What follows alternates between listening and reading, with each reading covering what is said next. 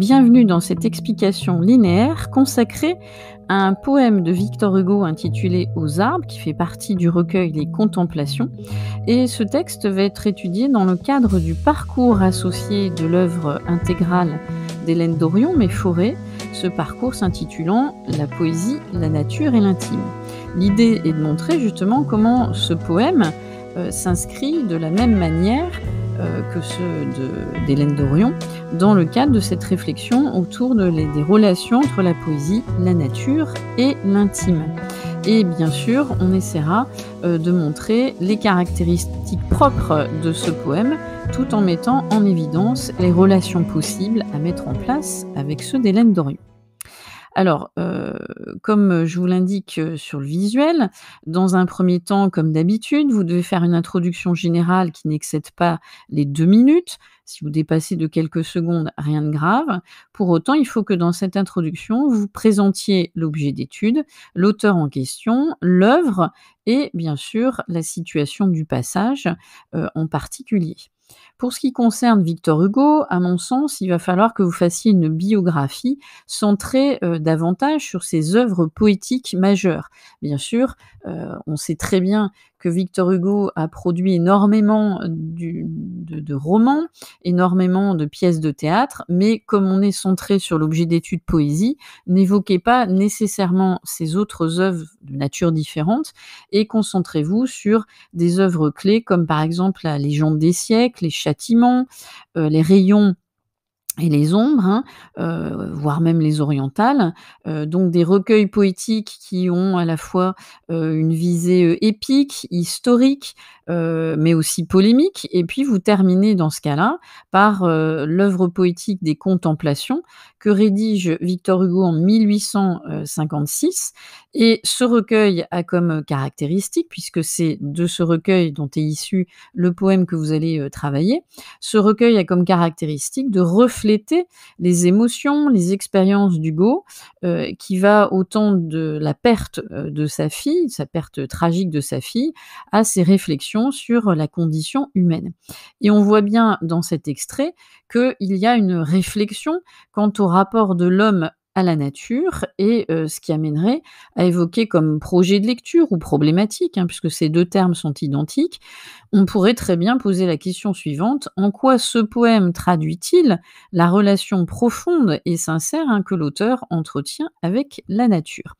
Et de ce projet de lecture, on pourrait faire émerger les trois mouvements que vous voyez apparaître à l'écran, euh, qui iraient du vers 1 à 4 pour le rapport intime euh, qu'évoque le poète dans son texte, pour ensuite aborder sa contemplation, on reviendra sur euh, la signification singulière de ce terme, et enfin il clôt par l'évocation d'une sorte d'osmose entre lui et la nature.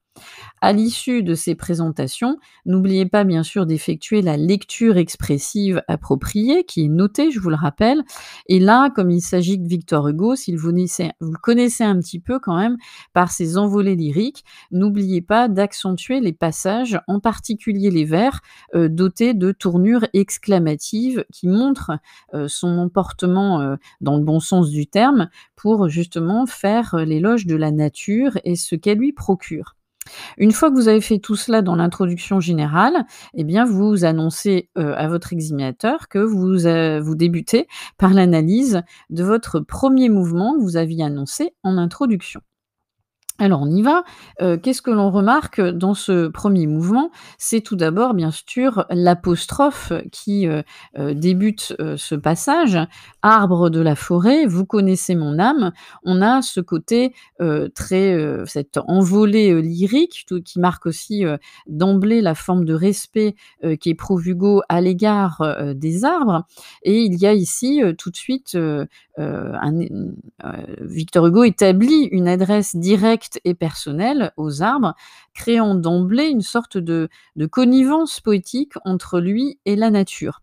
Euh, et donc tout de suite après, lorsqu'il dit vous connaissez mon âme, hein, euh, cette expression suggère euh, tout de suite cette idée que les arbres, sous forme de personnification au passage, connaissent et comprennent mieux l'auteur, heu heu, le comprennent mieux que que les gens, le commun des mortels et donc d'emblée, on a une sorte de lien émotionnel entre l'auteur et la nature.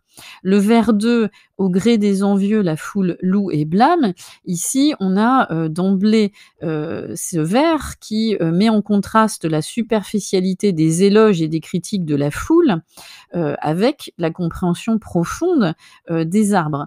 On remarquera aussi le jeu de diérèse, sur le terme envieux, hein. Vous vous souvenez, diérèse dit de, on prononce en 2 syllabes le terme, dans le premier hémistiche et qui, heu, accentue la connotation péjorative du terme et renforce ce contraste entre les arbres, la forêt, heu, qui ont, heu, justement un effet, émotionnel positif sur l'auteur, alors que la foule, c'est-à-dire la société, heu, est elle plutôt dotée, heu, de personnes négatives et on voit bien aussi, heu, le terme péjoratif, hein, la foule, hein, qui suggère cette masse, de de personnes néfastes et bien sûr, l'antithèse entre le verbe louer et blâmer qui, suggère le caractère, changeant, de la société qui tantôt, va, vous, mettre, en avant sur un piédestal et tantôt ne pas hésiter à vous critiquer.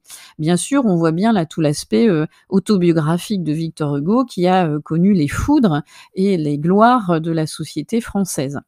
Heu, donc de manière subtile, hein, dès le le début, il contraste, il oppose les, vers 1, heu, et 2.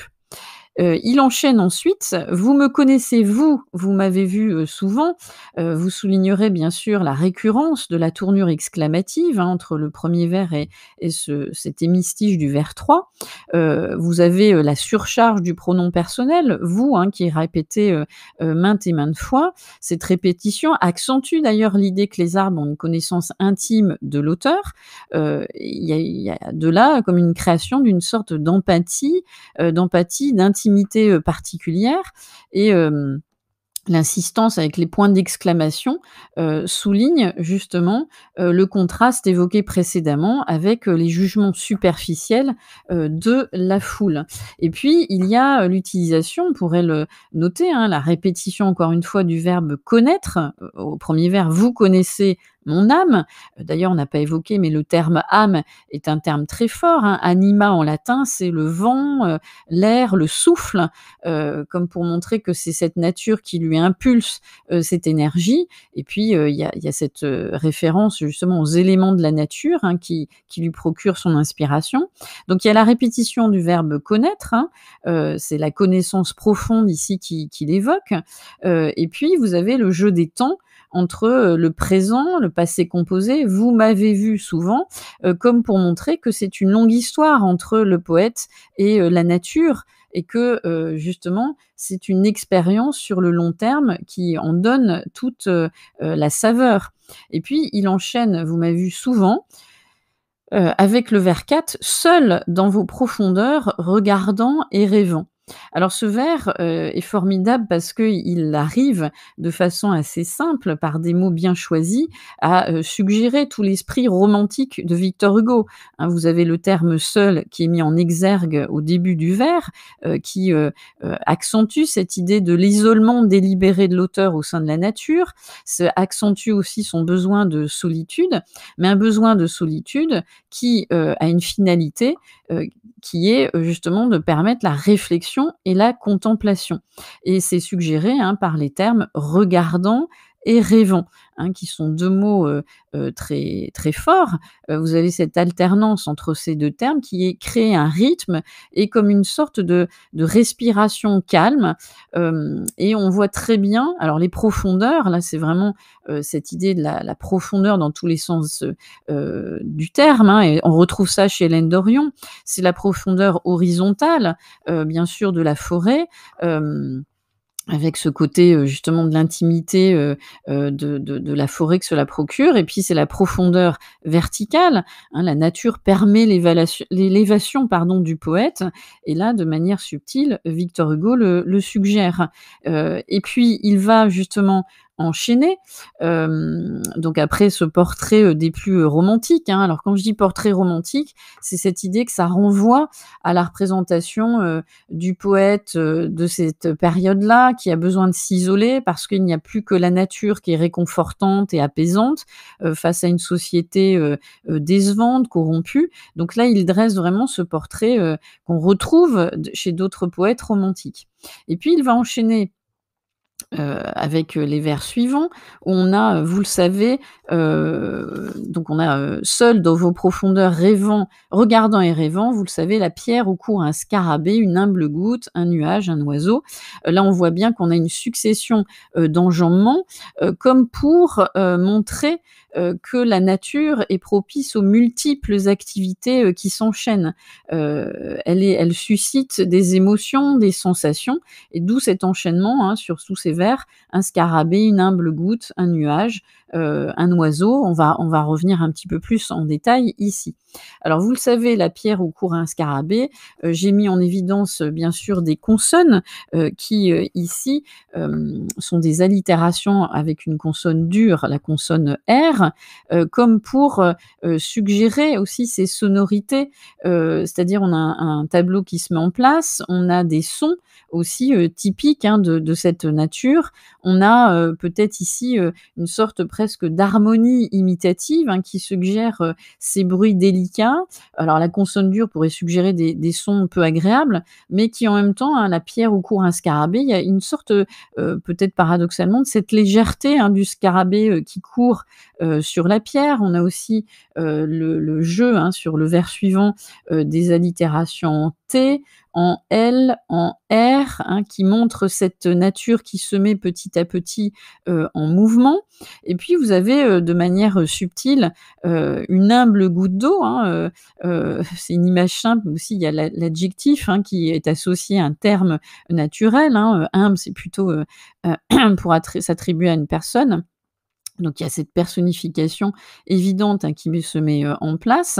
Et puis surtout, ici, en fait, Victor Hugo insiste sur cette idée de choses simples qui euh, éveillent la sensibilité de l'auteur. Même les détails les plus modestes de la nature suscitent en lui euh, une sorte d'apaisement. Il y a comme une sorte de musicalité des différents sons ici qu'on a évoqués qui apaisent euh, l'esprit du poète. On pourrait remarquer aussi l'utilisation de l'article indéfini, une humble goutte, un nuage, un oiseau.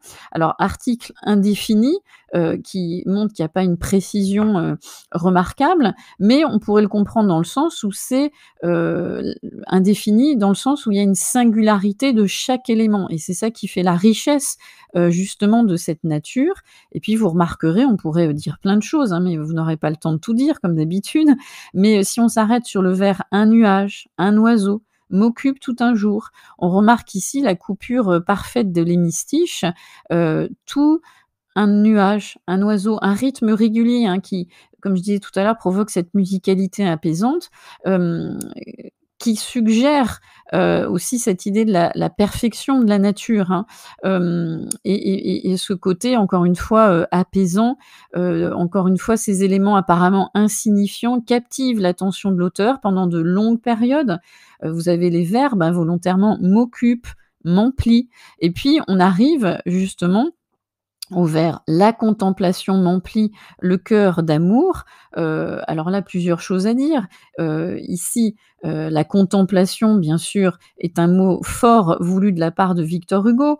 Hein, on a cette idée de euh, la contemplation vient d'un mot latin qui signifie observer attentivement, examiner soigneusement. Euh, mais il y a aussi cette idée de, l'intensité. contemplation, hein, ça vient de cum qui indique le partage et templum qui fait référence à un espace consacré, à un lieu sacré dans l'Antiquité romaine. C'est-à-dire que là, on glisse vers cette idée que euh, la nature devient presque un temple sacré pour, euh, euh, pour Victor Hugo. C'est un temple des émotions. c'est un temple, bien sûr, à respecter et qui sollicite toutes les émotions de l'auteur, mais au-delà de solliciter ses émotions, hein, par le terme amour, heu, il y a cette idée qu'elle va susciter et générer aussi la création artistique du poète. Donc on a, heu heu, bien sûr le le terme aussi, hein, de, les jeux, hein, de de des rimes, qui sont, évoqués ici, hein, un jour, amour, comme pour montrer que, à chaque fois qu'il retourne dans la nature, il y a ces émotions, heu, qui sont, suscitées, qui renforcent d'autant plus le lien de Hugo avec la nature. Et puis il va enchaîner avec, heu, les vers suivants: «Vous m'avez vu 100 fois», hein, il répète encore le verbe, heu, voir. Il y a la répétition, heu, aussi qui est suggérée, par le terme 100 fois et puis le passé composé, comme si, l'action était maintes et maintes fois, répétée, et donc ça renforce aussi bien sûr le caractère, cette idée de complicité entre la nature et le poète. Et puis le terme, heu, l'image, hein, de la vallée obscure suggère ici un lieu de retraite, de mystère, où l'auteur peut s'immerger pleinement et heu, encore une fois, cette répétition du «vous m'avez vu», heu, montre combien les arbres sont des témoins constants, de son de de son évolution aussi en tant qu'homme. Et puis, il y a l'expression avec ces mots qui dit l'esprit à la nature que dit, pardon, l'esprit à la nature. Heu, là, c'est un un un vers, heu, qui est plein de sens, hein, puisque ces mots, l'utilisation du démonstratif, hein, montre encore une fois cette complicité, mais il y a le terme bien sûr mot, qui évoque l'idée du langage, le dire, et puis les mots clés, heu, esprit et nature, heu, qui renforcent cette idée, de, la communion qu'il y a entre la nature. On est bien loin de cette société corrompue. La nature génère des émotions, mais génère un langage spécifique. C'est aussi ce que dit d'ailleurs, Hélène Dorion, hein, dans son recueil Mes forêts. Il y a cette idée d'un langage qui est spécifique, heu, qui va être, heu, traduit ensuite par le lecteur. Il y a comme une sorte de langage secret, qui est partagé entre la nature et le poète, une communication profonde, indicible et vous avez, ces sonorités, hein, avec ces mots que dit l'esprit à la nature. Il y a encore une fois ce jeu, d'une douceur sonore, qui peut d'ailleurs peut-être, heu, évoquer, heu, cette légère brise, hein, que va suggérer ensuite l'expression «vos rameaux palpitants», qui suggère, cette vie qui sans cesse se régénère et qui ensuite est diffusée dans l'âme, du poète. Palpitant, hein, l'étymologie, c'est, s'agiter. Donc il y a cette idée de ce mouvement, ce bruissement qui va crescendo. Et puis il y a il y a le terme, hein, questionner tout bas, heu, qui montre encore une fois ce caractère, heu, respectueux et cette interaction de l'auteur avec la nature. Et puis bien sûr, hein, heu, rameaux palpitants, on retrouve cette personnification presque filée tout au long des vers, qui crée cette image vivante, de la réaction de la nature au questionnement de l'auteur. Et du même regard pour suivre en même temps, heu, là on a, heu, le parallélisme, hein, qui insiste ici sur la simultanéité entre la question et l'observation, heu, de l'auteur. Heu, cette idée d'une sorte d'équilibre, heu, pour suivre en même temps, hein, qui est ici, heu heu, suggérée. La répétition de même, hein, renforce cette idée d'équilibre, de cohérence, suggérée et puis, qui permet justement, d'enchaîner avec, cette image, très forte, hein, pensif, le front baissé, l'œil dans l'herbe profonde, l'étude d'un atome et l'étude du monde. Donc on a, alors là plusieurs choses, heu, à dire, mais ça c'est une image typiquement, heu, on pourrait dire hugolienne, hein, le terme pensif, le front baissé.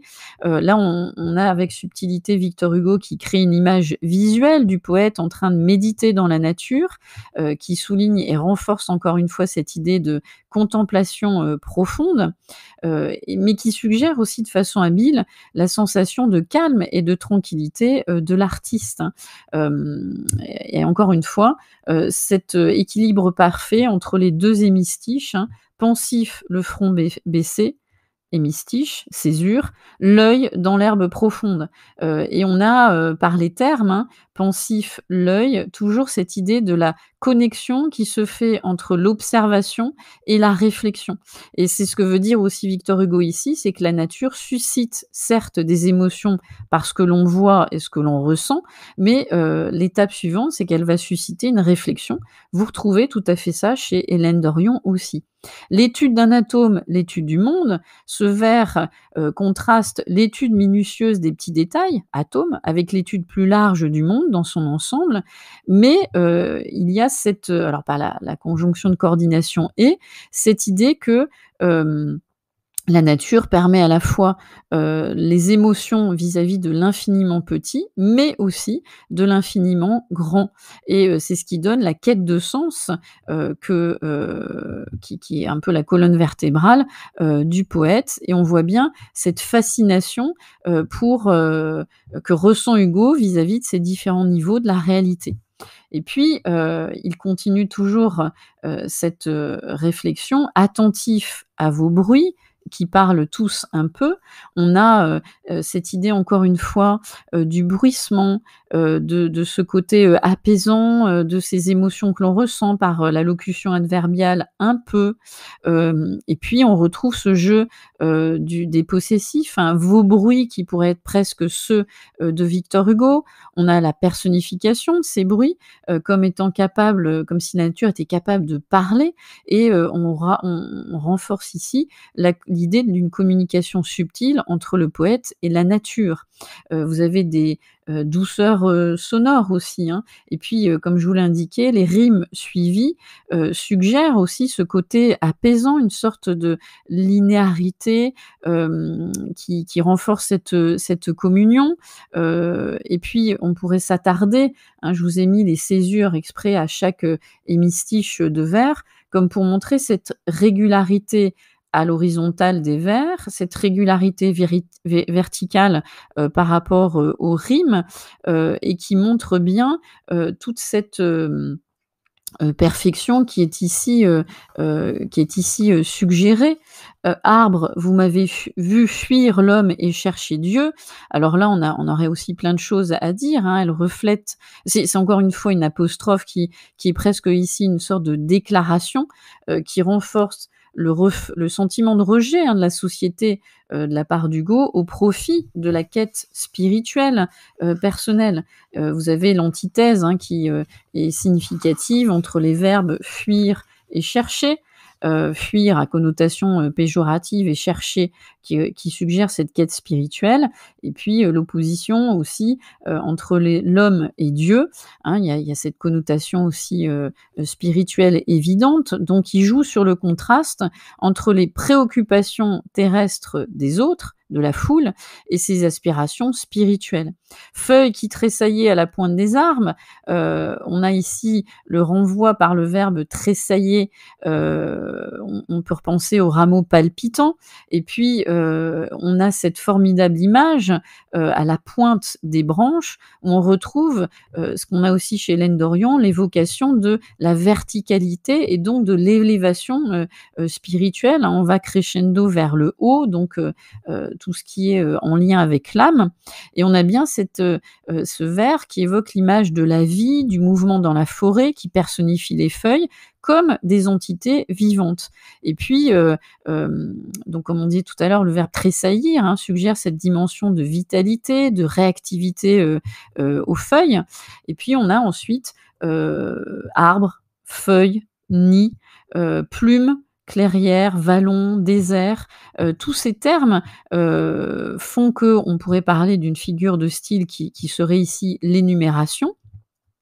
Et on a une représentation par cette énumération très riche, très variée de l'environnement naturel qui évoque, les différents éléments qui constituent la forêt, heu, qui évoque, heu, donc aussi là pour le coup, on pourrait presque avoir un tableau qui s'élargit et qui devient de plus en plus, visuel, qui va jouer sur les couleurs. Vous avez les dje les adjectifs, vert, sombre, doux, qui ajoutent des qualités, visuelles, mais aussi émotionnelles à chaque élément de la liste, et donc on a presque ce tableau, hein. Alors, j'ai aussi, il y a blanche, mais il y a il y a ces termes, hein, qui qui donnent ce côté visuel et puis cet élargissement spatial avec les clairières, les vallons, les déserts, heu, pour clore sur le, heu, vers: «Vous savez ce que je suis», vous savez que je suis calme, pardon, et pur comme vous.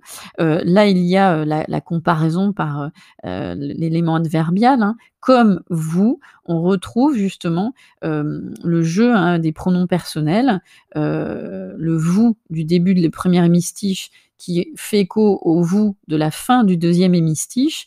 Heu, le «je» est au centre et donc heu, ce «je», bien sûr, va jouer sur le lien, heu, définitif, qu'il y a entre le poète et la nature. Le verbe savoir, le verbe être, et puis les termes forts que sont les termes adjectival adjectivaux, pardon, calme et pur, heu, sont des mots simples mais clés, heu, qui renforcent cette idée de l'osmose définitive qu'il y a entre l'artiste et la nature. Et encore une fois, avec des éléments relativement, heu, simples, des termes qu'il choisit de façon relativement simple. Et donc en fait, dans ce poème, que fait Victor Hugo? Il ne fait que réaffirmer, l'identification de l'auteur avec la nature, il ne fait que réaffirmer une harmonie profonde entre son état d'esprit et le monde naturel. Heu, la pureté des arbres accentue cette harmonie, heu, cette innocence de la relation, comme pour montrer aussi sa pureté en tant que poète, heu et donc indirectement renvoyant à l'impureté, de la société. Et en somme, ce poème Arbre de la forêt de Victor Hugo explore la relation entre l'homme et la nature, en particulier plus précisément avec les arbres. On voit bien, hein, comment, Victor Hugo joue avec des images, assez simples, parlantes, heu, par les personnifications, les parallélismes, les antithèses, les jeux, heu, sonores, et on a bien cette idée d'une atmosphère contemplative et introspective. Et on voit bien, qu'Hélène Dorion est l'héritière, hein, de cet esprit, poétique qu'il y avait déjà, au XIXe siècle. Mais, attention à, faire la petite différence, il y a pas cette idée de d'élan romantique pour, permettre l'élévation du poète et renforcer, heu heu, sa présence dans la société. Heu, Hélène Dorion a vraiment cette idée de rendre hommage à la nature et de montrer comment cette nature, justement, s'inscrit, dans son intime. Mais il y a des éléments, effectivement, qui sont, marquants par leur similitude et donc n'hésitez pas en conclusion à montrer combien il y a cet héritage ou cette continuité, de la réflexion, heu, de l'artiste vis-à-vis, heu, d'une nature qui ne peut que les inspirer. Et c'est là où vous mettrez en parallèle, un poème, un vers d'Hélène Dorion pour bien montrer, le lien évident entre les 2. Voilà, d'ici là, je vous souhaite de prendre bien des notes, de, vous imprégner de cet élan romantique, très enfin typiquement hugolien et je vous dis à très vite, d'ici là, sur clapotis.